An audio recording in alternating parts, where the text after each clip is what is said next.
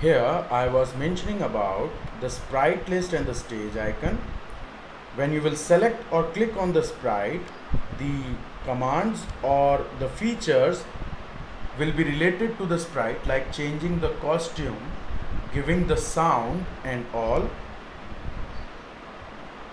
Like if I'm clicking on the sprite it has been changed to costume and like right now whatever I will do will be effective on sprite only. As you can see. Okay but as you can see the uh, tabs are code costume and sound. But as soon as I clicked on the backdrop the tabs have been changed code backdrops in place of costume.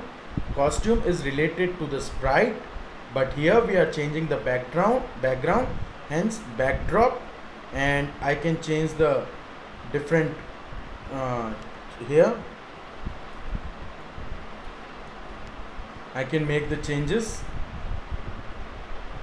on the backdrops by using this.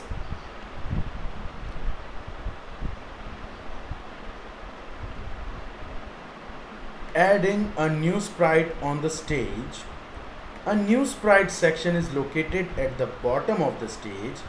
It has three buttons. Each button can be used to add a sprite on the stage. The three buttons are paint a new sprite get surprise sprite choose new sprite from the file. Paint new sprite you can paint your own sprite for a project. That means you can draw a sprite as per your requirement.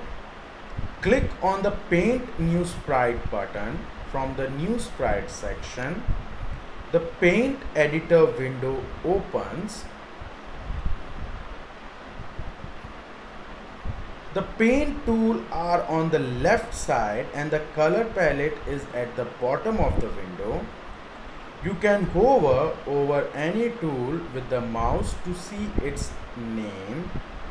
You can draw, paint and add any sprite in your project. Click on OK, the new sprite appears on the stage and it gets added to the sprite list. You can drag and reposition the sprite anywhere on the stage. Let's get back to our thing.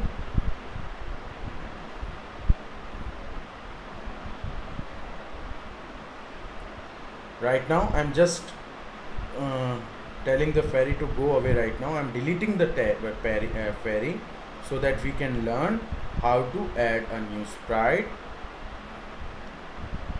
here are the options.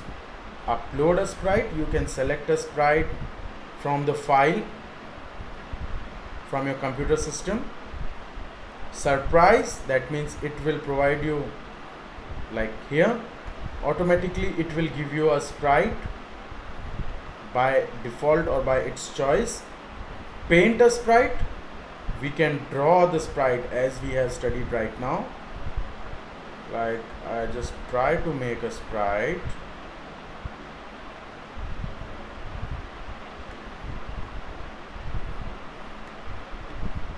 I'm not so good in so much drawing but still let's draw a sprite. Okay? Now as soon as I'll click on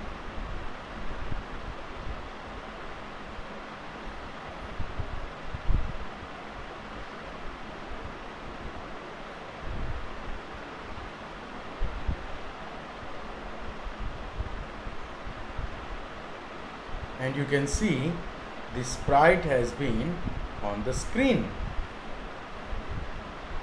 so it is how we can draw and add a new sprite or we can select the new sprite from the available list also.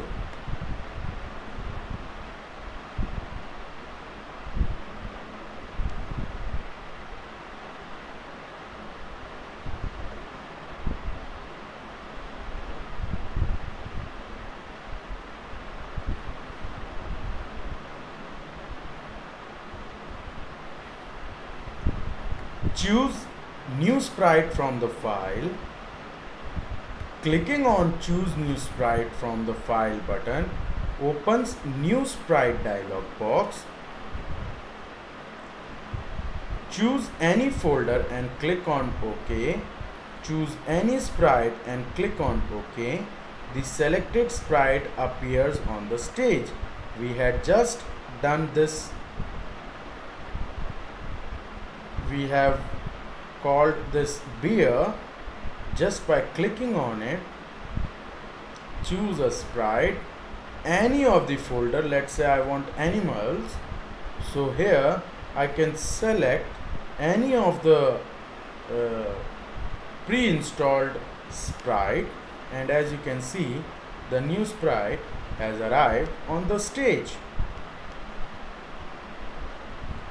get surprise sprite. Click on get surprise sprite button. A new sprite appears on the stage. Students this would be today's session. I would like that kindly install a scratch program on your computer. It's free of cost available on the Google uh, platform. So you can search them and you can install. It is uh, not so big program. You get easily installed in that. Once you have installed it I would request that kindly go through with these topics which we have studied today. The different parts of the scratch window along with how to add a new sprite painting a new sprite or choosing a sprite from the given file. For today we will cover up up to this point. The next topics will be covered in the upcoming session. I would be sharing a screenshot of this exercise also. Would request to kindly do the exercise in the book. For today thank you good day